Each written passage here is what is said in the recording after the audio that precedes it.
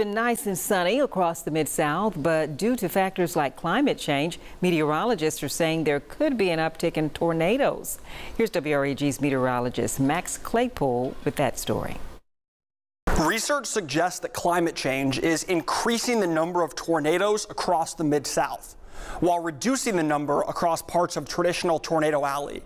Here's Dr. Victor Gensini, who's a leading researcher on the topic. You guys are in the biggest increasing trends, right? So if you look at a place like Memphis and you do a time series of the number of tornadoes, the number of strong tornadoes since the late 1970s to current, that trend is upward significantly in a place like Memphis and, and in many portions of the Mid South. Gensini estimates there's an extra one to two strong tornadoes per decade in the Mid South because of climate change, which doesn't sound like a lot, but we're already in one of the biggest tornado hotspots in the world. The damage is widespread. We can see some of it behind you. It's honestly just jaw dropping.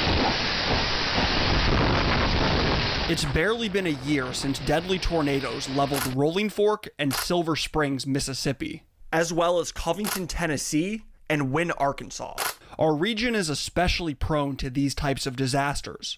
Stephen Strader researches the topic and explains why. Probably one of the bigger factors is um, higher poverty rates. Um, you have an aging population. You have infrastructure that's that's that's not in great shape.